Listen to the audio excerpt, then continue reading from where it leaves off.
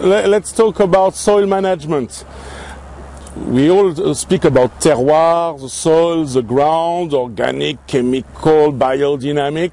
But where, we, where wine starts, it's here, the soil, the ground. Before anything, uh, before spraying against uh, mildew, pesticide, everything, the soil. So different technique of uh, soil management. Some uh, spray herbicide, you kill everything. Some plow, some put the grass. When, when thing is sure, if you have a lot of herbicide into the ground, it will be in the water system. And I do not want to drink water with uh, herbicides. Uh, we are all like this. We are not crazy. We live there. Our children live there. So at the moment in Champagne, we all target on soil management. And I think within 10 years, herbicide will be forbidden and maybe it's a good thing. But what, uh, so we try to to do many way. Some plow directly the soil, but when you plow, you cut the, the roots. So some say they force the roots to go deep. It's not true. They select. They, they just cut the, the the roots to go horizontal. So they select the roots keeping uh, going down, and generally the mortality of uh, of uh, the vineyard is very high. Uh, we will see in another vineyard. The, we have to substitute to renew permanently because the mortality is very very high. It's not very. It's not sustainable. Some grow grass to avoid herbicide. Just scratch under the row. So you do not have herbicide, but now you have grass, and the grass is in competition with the vineyard. The uh, we cut. Uh, we you are in competition, and uh, I will show you some sample. What's the effect of competition on uh, between wine and grass? Voilà, il va attendre qu'il va remonter.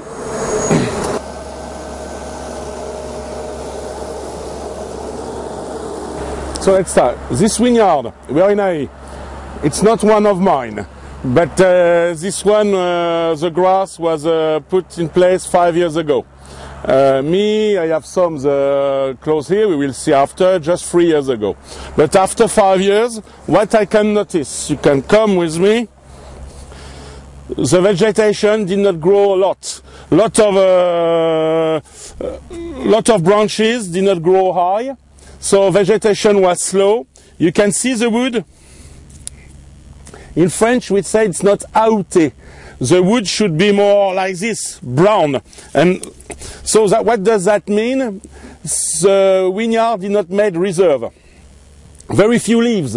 Very leaves are gone, uh, and the leaves at the solar panel, so no energy, no food. What will happen? The harvest of this vineyard this year, next year, nothing. When I say nothing, not economically, uh, you can't live without it, uh, with it. So you have a, when the next generation of grapes will come, I know exactly. Uh, you need to target, how you call it, the buds, the, the bourgeons. The bourgeons will, will start from the reserve. When we, this winter, when you see the next, the next grapes, the next branches, will come from the, from the roots, the own reserve. It will not come from the roots. So when the vegetation will start next year with uh, at the beginning of the rise of the temperature, the only food the vineyard will have will be what is in the wood. And when you see wood like this, you have nothing. Absolutely no reserve. Ah, see, you, you can see it's not brown. It's still a green, uh, yellow, sorry, and uh, it breaks immediately. You have absolutely no reserve. The the sieve have to go down. You see this? How how can he prune? So now you have to cut it, start another one. The, the grapes only come from the new branches, not the old one. Now, now we are in one of mine. We are just neighbor, close to the next one. So the terroir is, is the same. eh? We are in the place in Aÿ called Loiselu. So, uh, so, but this year the, the grass was uh, only three years ago. Only three years ago. But what uh, me, I am not happy. But uh, come, come closer. See the wood. The density of leaves is higher. Just three years after. But and see now, do you see the yellow one? Yes, just on top. My vegetation reach the the wires on top, and now uh, it's it's a, it's brown up to the top. I have reserve for next year. But what I noticed this year for 2015, I just noticed the yield collapse. Well, it was, I do not know if it was because of the leak of water and the humus did not go deep Is it that, or is it because it's the first symptom, uh, and I, think it will be that? I do not want my vineyard to come like the next one. The yield of my neighbor, I know it. He's crying. And me, hopefully, I do not manage all the vineyards the same way. Thanks to other uh, vineyards, I, uh, in a way, I make uh, quality substitution. The other vineyard uh, grow for this one. Here, the yield, I was four tons per hectare. I had nothing. And usually I, I, did the grass three years ago to limit the, the production because it was over yield. Usually here I was picking 15 or 20 tons per hectare. There is something wrong.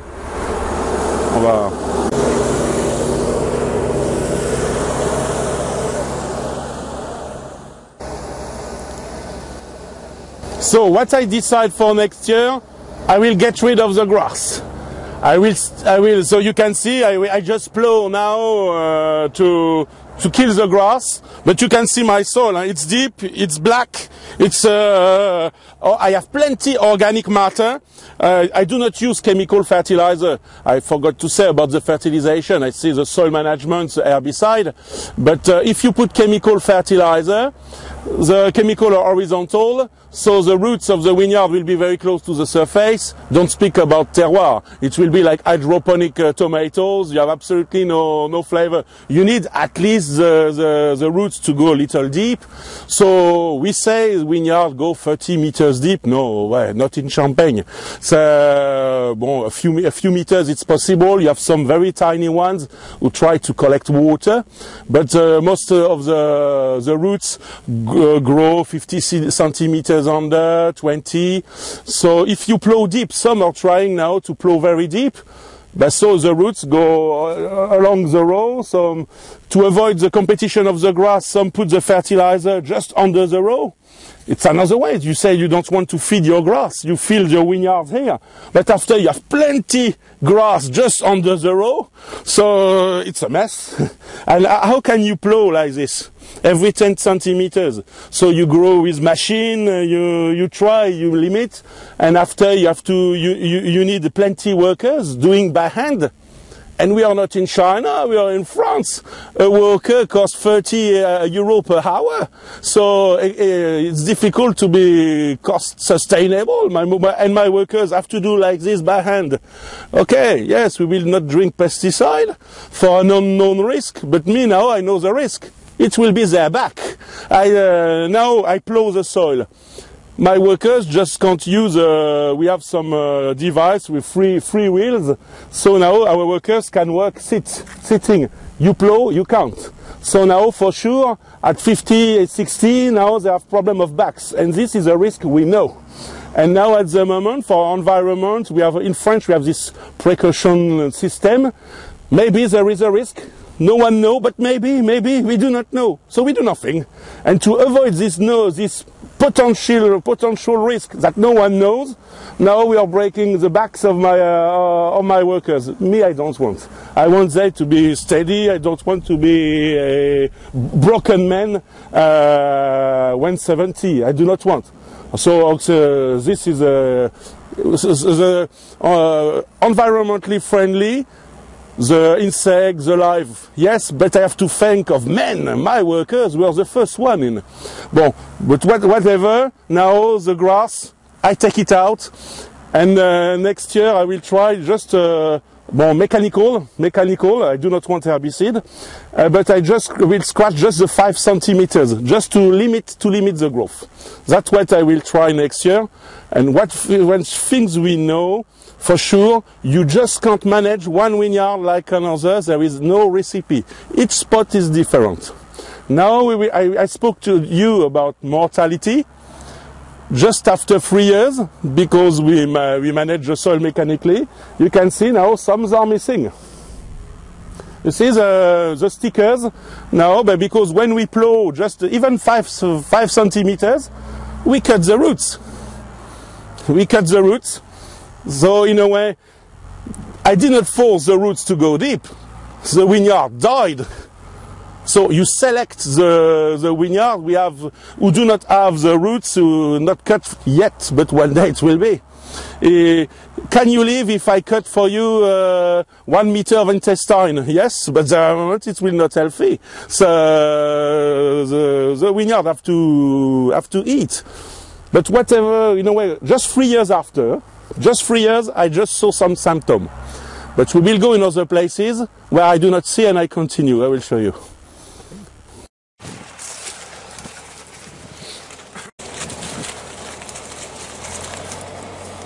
Another way of soil management. We are still on those three vineyards. We are how really distance did we move from the car? 10 meters, all the three vineyards. So another way to avoid grass, you only to you struggle the grass by putting lot of compost. You have lot of wood chips. You put lot of wood chips. So now a lot of gardeners do that. So with all the wood chips, the grass is a struggle, do not grow. So after you just have to manage under. So uh, this one spray herbicide just under and uh, but at, at, least he reduced by 40 or 50 percent the use of herbicide. That's what I was doing before I, uh, uh, I was putting grass, but on some vineyard I do it when it's very steep to avoid erosion, but it's another way. But what you can see, the wood, now it's more than one centimeter large. I have difficulties to break it. I, uh, compared to the other one not out, I just can't break it. This one will have grapes next year, for sure.